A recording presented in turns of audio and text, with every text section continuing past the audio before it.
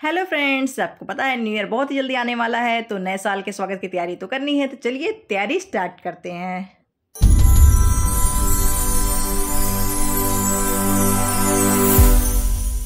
तो मेरे पास ये बहुत छोटी सी प्लेस है, मैं इसी में आपको डेकोरेशन करके दिखाऊँगी। मैं बहुत ज़्यादा डिफ़िकल्ट डेकोरेशन नहीं करें बहुत इजी डेकोरेशन करने वाले, इसको आप लास्ट मिनट पे भी कर सकते हैं। और इसको ना कि आप केवल न्यू ईयर पे इसको आप एनिवर्सरी बर्थडे किसी भी ओकेजन पे इस तरीके का डेकोरेशन कर सकते हैं, जो बहुत ही यूज़फुल है। तो देखिए, मेरे पास ये इस तरीके का नेट है। अगर आपके नेट नहीं है तो आप साड़ी, कर्टन किसी भी चीज़ का यूज़ कर सकते हैं, जो थोड़ा नेट वाली फैब्रिक में हो, वो अच्छा लगेगा ट्रांसपेरेंट। फिर हमें बैंड लगा लेना है, उसमें एक पिन लगा ले रहे हैं, जिससे हमारी साड़ी फटे नहीं, या जो भी हमारा कपड़ा है। फिर उसको हम एक उसमें पिन में लगा देंगे। इसके बाद हम इसको अलग कर देंगे। नीचे मैं कुछ सीटिंग अरेंजमेंट करूँगी तो यहाँ पर पहले मैं एक मैट लगा दे रही हूँ। इसके ऊपर मेरे पास ये कुछ कार्डबोर्ड बॉक्सेस थे जो काफ़ी हार्ड हैं तो दो बॉक्स है मैं इससे सीटिंग अरेंजमेंट क्रिएट कर रही हूँ। आप किसी भी चीज़ से कर सकते हैं, अगर कुछ भी नहीं है तो आप गद्दा वगैरह डाल के भी इस तरीके से कर सकते हैं। फिर मैंने इसको पहले एक फैब्रिक से कवर कर दिया है। उसके बाद मैं इसके ऊपर बेडशीट लगा रही हूँ। तो मैं ब्लू कलर क्योंकि मेरा थीम जो है वो वाइट एंड ब्लू का है। तो मैं ब्लू कलर की बेडशीट का यूज़ कर रही हूँ। आप डेकोरेशन करते समय हमेशा ध्यान रखिएगा कि थीम को अपने कलर कॉम्बिनेशन को ध्यान में ज़रूर रखना है।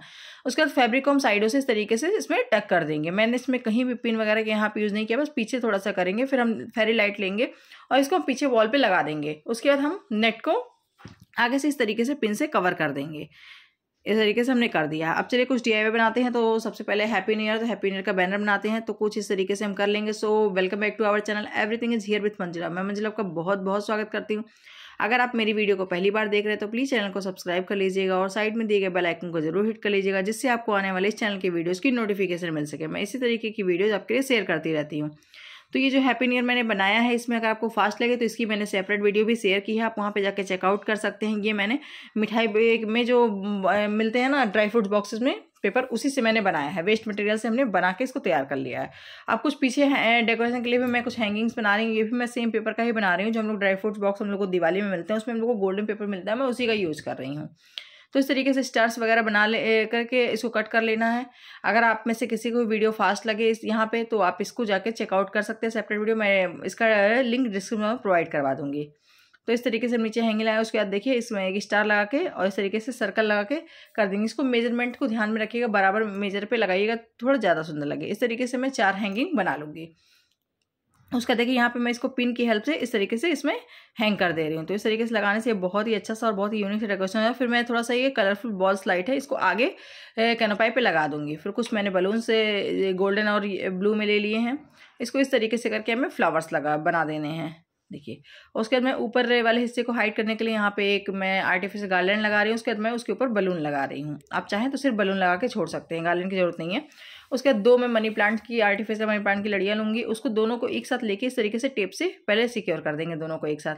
उसके बाद इसको मैंने जो बीच में पिन लगाया था ना हैंगिंग के लिए, उसी में ले जाके हम इसको लगा देंगे। उसके बाद इस को ला के हम नीचे बस अपने उसमें जो सीटिंग अरेंजमेंट किया, उसमें हमें थोड़ा सा टक कर देना, बाकी कुछ करने की ज़रूरत नहीं है, आराम से अपने आप स्टेबल रहेगा।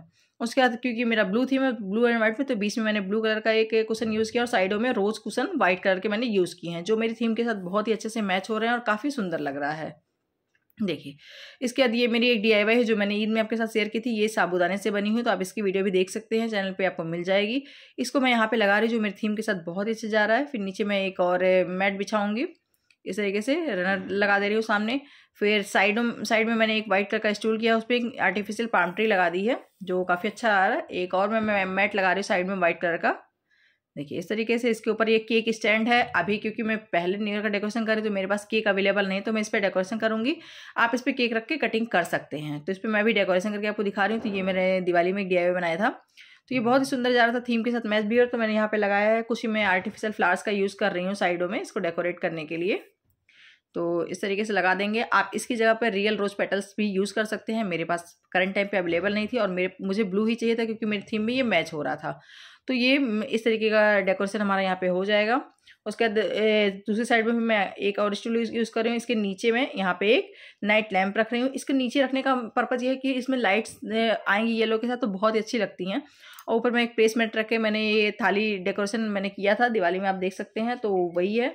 उसके बाद यहाँ पे एक कैंडल मैं प्लेस कर दे रही हूँ। साइड में एक मैं डी आई बॉटल है, उसमें मैंने प्लांट लगा आर्टिफिशियल फ्लावर्स लगा दिए हैं। कुछ बैलून्स को मैं इस तरीके से सिटिंग में यहाँ पे रख दूँगी। नीचे ट्वेंटी ट्वेंटी फोर लगा दिया है।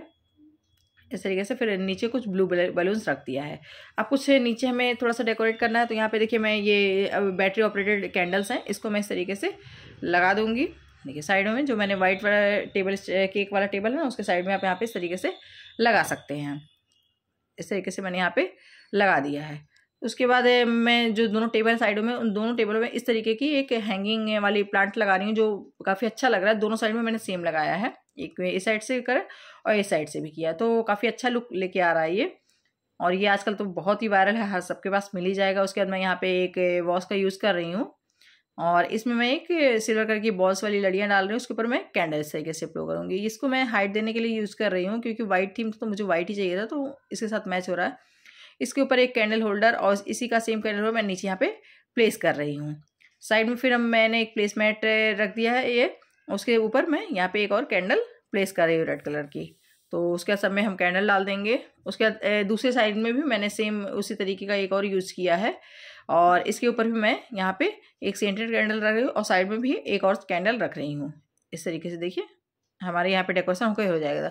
तो इस तरीके से हमने अपना बहुत ही ईजी और लास्ट मिनट पे डेकोरेशन कर लिया, जो बहुत ही कम समय में और बहुत ही कम चीज़ों से होने वाला डेकोरेशन है। आपके घर में जो जो चीज़ें अवेलेबल हैं, उसी में से कर सकते हैं। ज़रूरी नहीं है कि सारी वही चीज़ें यूज़ करें जो मैंने यूज़ की हैं। आपके पास जो चीज़ें हैं उसी में से करना है अपने घर के चीज़ों को बस इधर उधर ला के बहुत ही अच्छा सा डेकोरेशन जाएगा। ये डेकोरेशन ना कि आप ओनली न्यू ईयर में कर सकते हैं, इसको आप एनिवर्सरी बर्थडे किसी भी स्पेशल ओकेजन पे डेट नाइट्स वगैरह के लिए भी इसको कर सकते हैं। बहुत ही कोजी सा कॉर्नर आपके घर में बनकर रेडी हो जाएगा। तो आप मुझे कॉमेंट सेक्शन में ज़रूर बताना आपको मेरा डेकोरेशन आइडिया कैसा लग रहा है और मुझे तो बहुत ही सुंदर लगा क्योंकि मैंने इसमें कलरफुल लाइट्स और वार्म लाइट दोनों का यूज़ किया है। सो इसमें लाइट्स भी बहुत अच्छे से आ रही हैं और नेट का यूज़ करने का रीज़न यही है कि इसे लाइट्स बहुत अच्छे से खिल के आती हैं और उसमें जो ये मनी की लड़ियाँ लगा दी मैंने बहुत ही खूबसूरत उसकी वजह से लग रहा है।